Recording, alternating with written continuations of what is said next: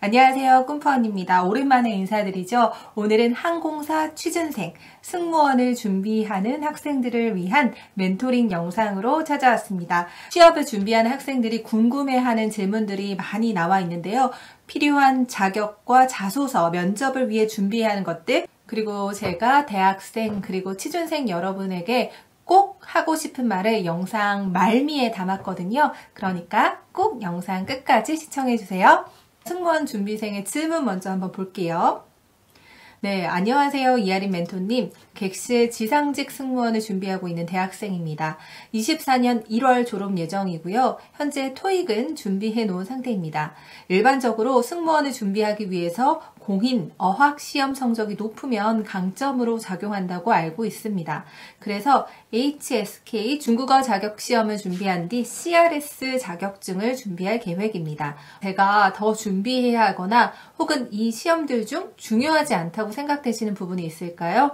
또한 제가 질문 드리고 싶은 것은 첫 번째, 항공사 면접 과정과 면접 시 받으신 질문.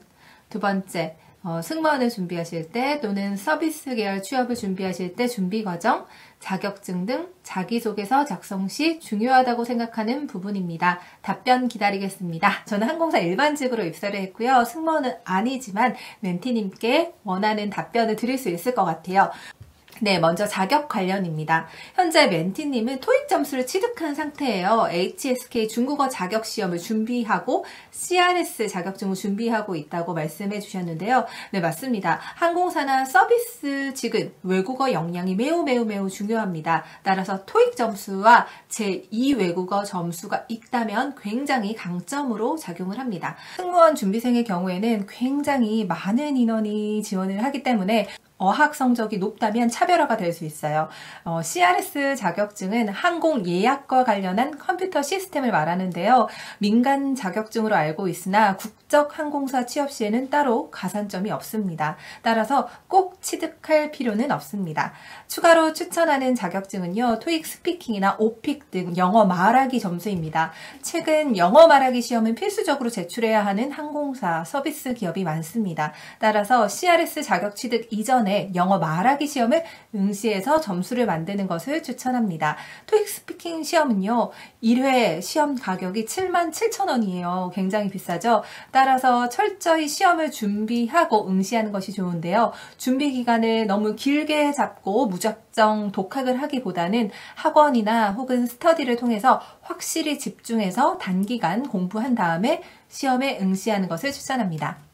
다음 두 번째는 자소서 관련한 질문을 해주셨어요. 이것은 개인의 경험에 따라서 강점에 따라서 그 소재가 달라질 수 있을 것 같은데요. 그럼에도 불구하고 큰 뿌리로 다음과 같은 부분을 기억해 두면 좋을 것 같습니다. 서비스직은 사람을 상대하는 직업입니다. 따라서 사람에 대한 호기심과 공감 능력이 매우 중요해요. 따라서 다양한 관계에서 갈등을 해결한 경험이 있다면 이에 대한 에피소드를 기입해 주시는 것이 좋고요. 두 번째는요. 글로벌 감각입니다.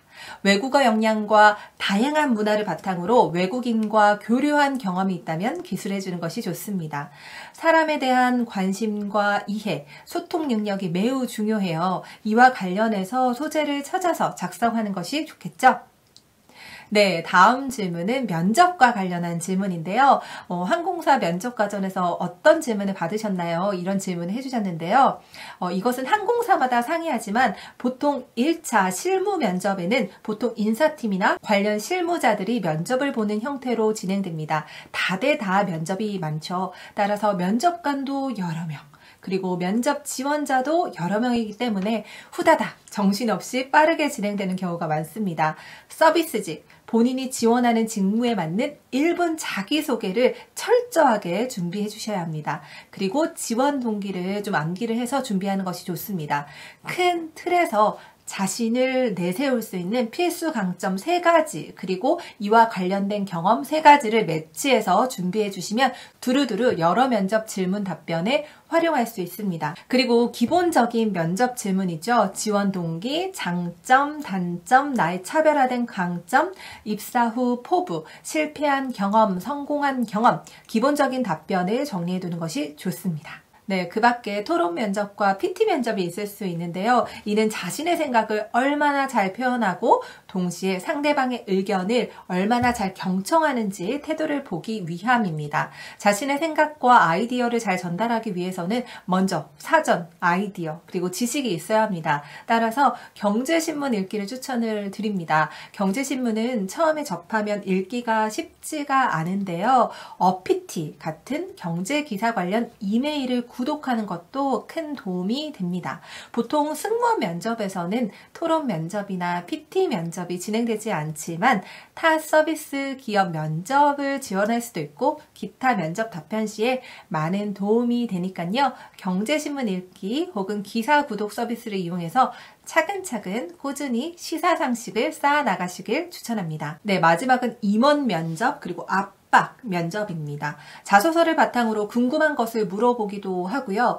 어, 아무래도 본인이 봤을 때 스펙이나 혹은 경험 관련해서 좀 부족한 부분에 대해서 압박 질문을 받을 수 있습니다.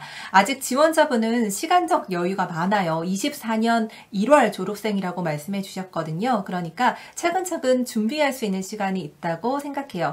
임원분들은 매우 바빠요. 그래서 어, 여러분의 자소서를 다 검토할 시간이 없습니다. 따라서 자소서 내용 중에 눈에 띄는 내용을 질문하고 이 사람이 우리 회사에 들어왔을 때 같이 성장하고 또 회사에 도움이 될 것인가를 보려고 할 거예요. 아무래도 회사에 대한 관심과 그리고 얼마나 이 회사에 들어오고 싶은지 간절함을 잘 어필하는 것이 중요합니다. 동시에 회사 입사와 관련해서 지원자님 이 준비한 노력들을 잘 정리해 두는 것이 좋을 것 같아요. 네, 마지막으로 끝으로 하고 싶은 말인데요. 제가 여러분에게 가장 전하고 싶은 메시지가 아닐까 싶습니다. 자격증과 면접과 관련해서 많이 궁금하실 거예요. 그래서 여러 질문을 해주셨는데요. 2024년 졸업이라고 하셨으니까 아직까지 여유가 좀 있어 보입니다. 2020년과 2021년은 코로나로 인해서 외부 활동이 좀 자유롭지가 않았어요. 2022년 하반기부터는 변화가 좀 있지 않을까 기대를 하고 있는데요. 경험을 정말 많이 많이 하시라고 추천을 드리고 싶습니다. 지금 지원자분이 승무원이라는 직종에 취업을 희망하고 계시는데요. 서비스직은요, 꼭 이런 경험이 필요해요. 라는 것이 많지 않아요. 본인이 해보고 싶은 경험을 정말 많이 해보시라고 추천을 드리고 싶습니다. 그것이 취미 활동이 될 수도 있고요. 외부 동아리도 될 수가 있습니다. 그리고 여행도 될 수 있겠죠? 목적 없이 좋아서 하는 경험들을 잘 쌓아서 기록으로 남기 남기시는 것을 추천을 합니다. 그것이 또 자소서와 면접을 준비할 때 크나큰 강점 그리고 여러분의 차별성, 돋보이는 강점으로 작용할 수 있습니다. 따라서 미리 취업을 생각해서 자소서와 면접 관련 준비를 하는 것보다는 우선 내가 좋아하는 경험과 활동을 쌓고 이것을 취업 준비로 연결시켰으면 좋겠습니다. 네. 이에 더불어서 기록을 꼭 하실 것을 추천합니다. 저는 온라인 기록을 추천을 하는데요. 블로그, 유튜브, 인스타그램 이런 여러 SNS의 과정을 기록해 보세요. 취업뿐 아니라 지원자분의 삶도 훨씬 재밌고 풍요로워질 수 있을 거예요. 네, 두 번째는요. 일기 쓰기를 추천합니다. 면접이 임박한 분들에게는 제가 이 방법을 추천을 드릴 수가 없어요. 기출 면접 질문 위주로 답변을 준비하라고 말씀을 드리는데요. 지금 질문을 주신 지원자분은 아직 졸업까지 시간적 여유가 있으니까요. 일기 쓰기를 꾸준히 해보라고 추천을 드리고 싶어요. 매일 조금씩 나의 생각, 느꼈던 감정, 슬펐던 일, 오늘 감사했던 일, 어, 일상에서 느꼈던 다양한 감정, 그리고 오늘의 성장 기록 등 이렇게 다양한 일상을 한번 기록을 해보세요. 그리고 더 나아가서 하고 싶은 일, 내가 좋아하는 일도 될 수 있고요. 이 일기 쓰기는 자연스럽게 말하기와 연결이 됩니다. 내 생각을 정리하는 연습이 곧 말하기 연습이거든요. 면접이 어려운 이유는 나를 단단하게 잡고 있는 중심 생각이 없기 때문에 면접관이 어떤 말을 좋아할까?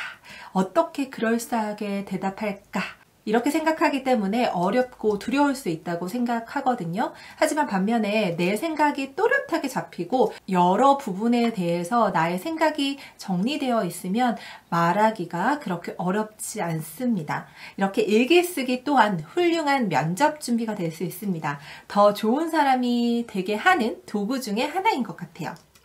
많이 경험하고 탐험하고 나의 생각을 써보는 연습을 꼭 하셨으면 좋겠습니다. 하루 이틀 한다고 눈에 띄는 성장이 보이지 않거든요. 한 달, 두 달, 6개월, 그리고 1년. 꾸준히 한번 써보세요. 제가 효과는 장담합니다. 네, 좋은 질문 해주셔서 감사해요. 지원자분 파이팅이고요. 그리고 또 궁금한 내용이 있으면 댓글로 남겨주세요. 저는 취준생의 성장 멘토 곰판이었습니다.